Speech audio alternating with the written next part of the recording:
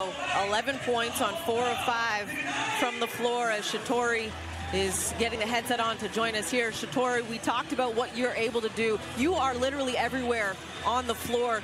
What you bring off the bench, can you tell us what that is, what your role is, and how you do it at such a high level? Yeah, no, it changes every game. Um, but I know for me, consistently, I need to bring energy, whatever that looks like. And I know for me, I got like a, I call it a cheat code because I'm starting on the bench and I can see whatever the team needs in that moment.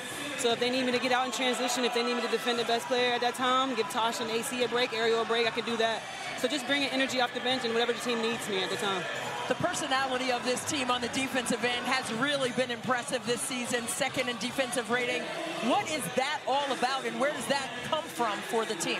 Yeah, you know, that's something that we can bring every single, um, every single game, no matter if our shots are falling or not. And we know that if we get stops, we can get whatever we want on offense. And I think our offense is predicated on our defense sometimes. Whenever we can be disruptive, get out.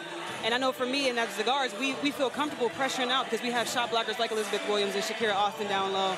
Delle Donne getting blocks, getting deflections. So I thought um, collectively today we did a really good job.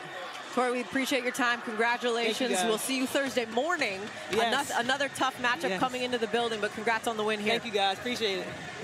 Shatori Walker Kimbrough once again everywhere on the floor defensively as we take a look, Christy, at the final stats for this one.